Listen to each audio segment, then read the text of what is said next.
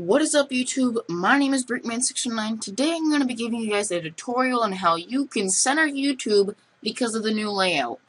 I am very sorry guys that I have not done this video sooner. I was going to, but I never got around to it because of school starting up and I have a lot of other things going on right now. So, if you see on your YouTube page, when you open up YouTube on any browser, it's going to be up on the left. And a lot of people don't like that because they like, sorry about that guys, I don't know why I keeps doing that. Um, they like having all of their stuff right in the center so they don't have to go over to the left and, you know, do that. So this is only for Google Chrome, guys. Sorry, Internet Explorer and Firefox users. Those browsers both, I, I, I mean, Firefox is okay, but Chrome is, like, the best um, in my opinion. So what you guys want to do, um, basically this is a, an extension that you can get. Um, right now, what I'm going to do, I'm going to remove the extension from mine. So if I go to... Hmm.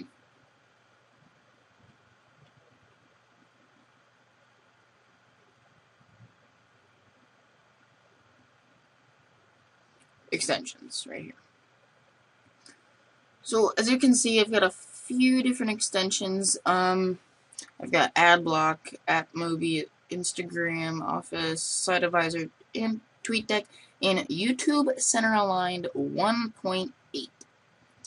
So what you guys want to do is um, I'm going to delete that extension. So now if I reload my YouTube, page, you see it puts it all over here on the left, and you got this over here. It's kind of annoying, guys, I know. Um, so what you want to do is you want to open up this website that is down in the description below. Um, you want to open it up in Chrome. It's called userscripts.org.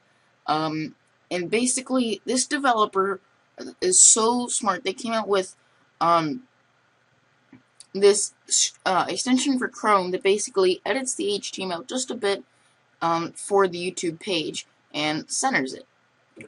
Kind of cool. So what you want to do is come up in the top right corner, this green button where it says install.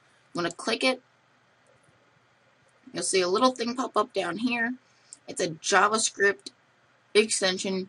You want to double click it. Then it'll ask you if you want to open it up in Chrome or you want to open it. Um, uh, crap, I do not want to open it. Oh, oh, fail, guys. I did not want to open it. Fail. You want to go back to your extensions. To, uh, I need to download it again. Go to your extensions tab, and um, what you want to do is come up to Oh, fail. One second, guys. Sorry about that, guys. So what you want to do, come back to your extensions tab and just drag this, and you want to, a little thing will pop up says, add YouTube Center Aligned. It can access your data on all websites. We want to add that.